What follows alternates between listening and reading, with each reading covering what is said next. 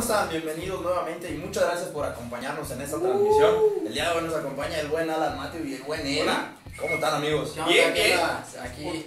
Dale, Mateo. No, una interesante jornada, ¿no? La que vamos a analizar en esta ocasión con las Chivas y el Atlas. Eh, Dejando cosas de qué hablar, ¿no? bueno, uno- unos positivos, otros negativos, ya veremos. Pero se habla de los dos, ¿no? Sí, sí. Saludos a Pedro, eh, por cierto. Pues ya concluyó esta jornada 3. Bueno, falta todavía de un partido ahí entre, entre el Pachuca. Pachuca y Mazatlán, que creemos que Pachuca va a arrasar a Mazatlán. Pero bueno, ya creo que van tomando forma los equipos. Sí. Este, creo que ya se van viendo mejor, ya están entrando en ritmo. Y bueno, pues comenzamos con el partido que se vivió a media semana entre el Toluca y el América. Sí. Uh, ¿Cuánto partidazo. quedaron o cómo cómo quedaron los resultados, amigo? Mira, el América le gana 1 por 0 al, al Toluca. Toluca debió ser 2-0 por una, un gol mal Ok. anulado por parte del, del VAR, que a final de cuentas lo quitan porque según esto a Volpi le quitan la visión, pero pues es su propio compañero, no tiene sentido, pero buen partido de América, ¿eh? América, muy bien. Bueno, con- después jugó Puebla contra León. Ajá. Puebla y León quedan 1-1. Después viene pues el poderoso bicampeón ganándole a la máquina 3 a 2. Como debe de ser. El Santos contra el Guadalajara en un empate a 1, buen partido. Eh, Pumas y Necaxa también en un muy buen gol de Adrián Alderete. Hace el 1-0 Pumas. Este hace cuánto no marcaba, Ah, pero sí. E- Es el primer partido en donde yo me quedo dormido. Luego el Monterrey, parece que se le complica mucho jugar contra el San Luis, le, le pega 1 por 0. Sí.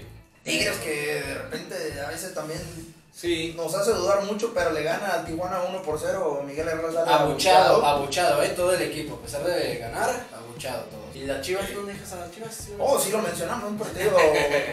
La verdad estuvo bueno el partido. Sí.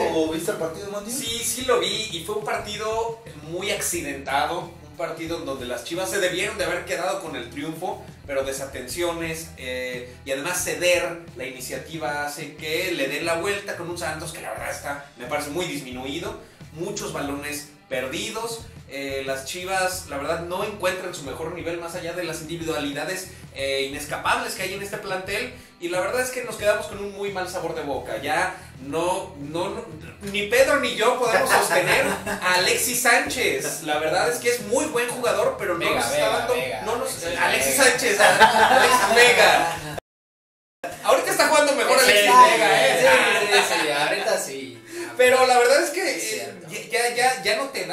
Necesitamos un nuevo funcionamiento, los chivistas, los chivermanos, y la verdad es que no lo estamos encontrando de la mano de cadena.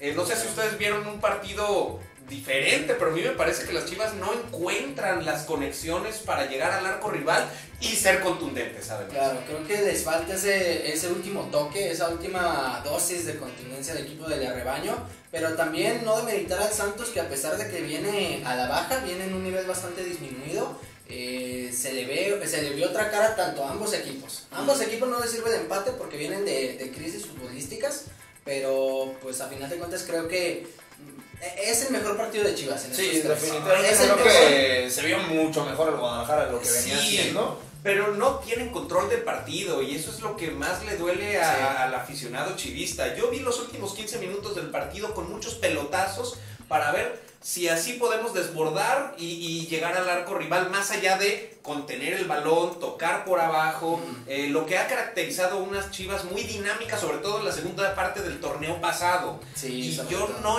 yo no veo por qué tenemos que trazar eh, largo cuando no somos el Atlas. El Atlas sabe trazar largo, Ajá. sabe saltar líneas porque tiene dos, a dos delanteros muy buenos que pueden... Y, y es más, el Atlas ya encuentra una asociación futbolística muy interesante Sí. a ras de piso y las Chivas se están descomponiendo eso que tenían fuerte, siendo que no tienen a dos delanteros nominales como centros delanteros que te bajan balones, sino que tienen a jugadores habilidosos por las bandas, por las Brizuela bandas donde y tienes que Alexis atacar Sánchez. principalmente, ¿no? Y pues también destacar que Chivas juega con un solo delantero. O sea, no puedes generar una, no puedes despejar una presión si el equipo te está presionando, Claro. tú despejar, si nada más tienes un delantero, tienes que salir tocando y pues es raro, pero a ver, cuéntame, ¿qué, qué pasó con Adán Mozo? Adán Mozo no juega, ¿verdad? O sea, Yo no lo he visto. no, no ha En el campo, no, no, está en la banca y pues Pero qué tal, no se lo vio por ahí a media semana en un antro, dicen las, las, las malas No sé, No sabemos. sé. ¿verdad? Si tienes, si tienes la primicia, aquí se dijo en el pacto de caballeros. Mira, Alan Mozo yo creo que es jugador con bastante calidad y le puede cambiar la cara del equipo. Digo, si vas a estar jugando con una línea de 5, pues entre Alan Mozo y el Chicote Calderón se supone que son las referentes para que puedan subir y, bajar. Pero el y Chicote Calderón te está jugando bien, bro. Ese es el problema de que son jugadores que te sacan chispazos, pero una vez ya sacándolos ya se duermen otra Se vez. duermen, Sí, o sea, él es el pecado mayor de Chivas y pues no, bueno, no sé, la verdad. Creo que. Chivas no ha encontrado todavía su sistema de juego, o sea, no tienen un sistema de juego definido. Creo que el profe Sí. Cadena todavía está como tratando de encontrar una formación adecuada. Creo que la, línea de 5 le funcionó al principio, pero al momento en que los demás equipos estudian a Chivas, creo que ahí es donde se pierde, ¿no? Donde no Se se vuelve vuelve claro. se vuelve predecible el equipo, la verdad. Y, y- y luego, ¿sabes qué? Falta también confianza. Cuando no tienes resultados, la confianza, se confianza, merma y tu sí. siguiente partido ya lo Sí. juegas mal. Yo vi al Cone Brizuela, un eh, emblema del, par- del, del club de fútbol de, de- de Chivas, perder una, una pelota, le iba el balón al, pie, al piecito y se le va abajo, por Sí, se le va por abajo, Por ahí,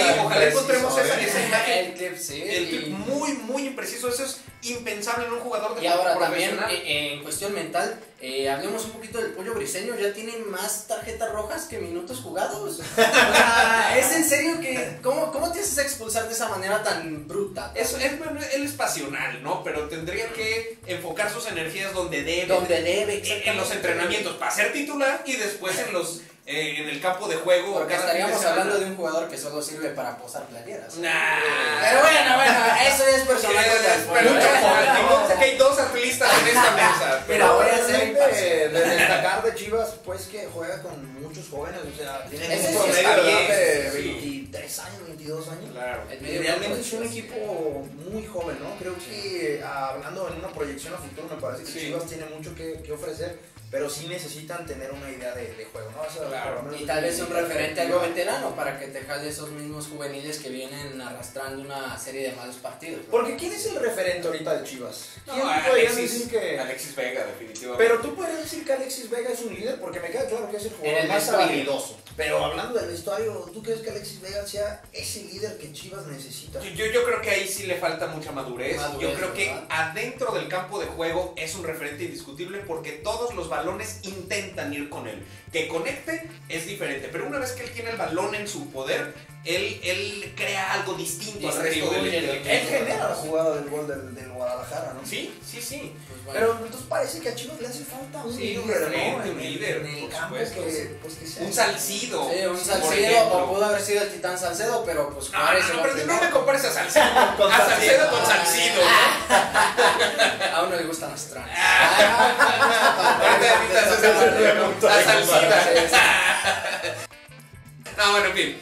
Este, el Atlas, ¿cómo lo vieron? Eh, pues, a ver, compañero, tú fuiste al estadio, ¿sabes cómo Pues mira, el Atlas me parece que realmente sigue teniendo la misma idea que tiene ya jugando hace tres torneos. Ahorita que decías que Chivas Sí. se vuelve muy predecible, Atlas es muy predecible. O sea, Pero, pero- pero está encontrando los resultados y la Sí, la confianza va en aumento. Es que cuando ganas, la verdad es que tienes todo, toda la motivación, toda la confianza para tocarle el balón a tu compañero que te la y- regrese. y hablamos de algo totalmente, bueno, un contraste muy grande entre ambos equipos, ¿no? Porque en cuanto a uno eh, no encuentra un funcionamiento o en el vestidor te falta un líder, Atlas tiene tres líderes y estamos hablando de un equipo que se ha mantenido a la base durante tres torneos seguidos. Sí. Tanto técnico como jugadores, eh, se nota esa el cuerpo arbitral.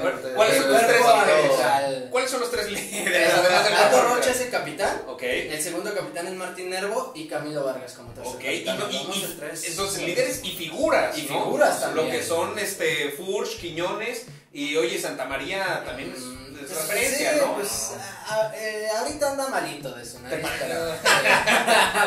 No, pero también lleva los, tre- los tres torneos, si no me Sí, equivoco. llevan los tres torneos. Atlas ha mantenido una base y pues se ven los resultados. Digo, el segundo gol es una obra de arte. Creo 15 toques Ah, no, impresionante. seguidos para llegar Sí. a un gol que Jeremy Márquez entra y llega solo. Creo que ahí te habla de un fútbol asociación. Y pues bueno, la polémica también se desató en ese partido con la roja. ¿Cómo se llama este jugador de Cruz Azul? No, no no, no recuerdo yo el, nombre. Ahorita lo pasamos. un jugador que, genérico, partido, ¿no? jugador genérico de Cruz Azul que llega a fracasar, se hace, se hace expulsar por una entrada donde llega eh, pues con el pie de manera bastante errónea al- a la pierna del jugador Santa María, creo. Sí, de Santa María. Llega el, el VAR, lo expulsa, pero se desató la polémica porque en redes Eh, supuestamente dicen que eso no tiene que ser roja. A ver, compañeros, según el reglamento, cualquier plancha por arriba del talón es roja y se callan. Así que no sé cómo lo ven ustedes. No, y es que al final de cuentas, pues no hay faltas chiquitas, no hay faltas granotas, faltas es Claro. una falta, ¿no? Creo que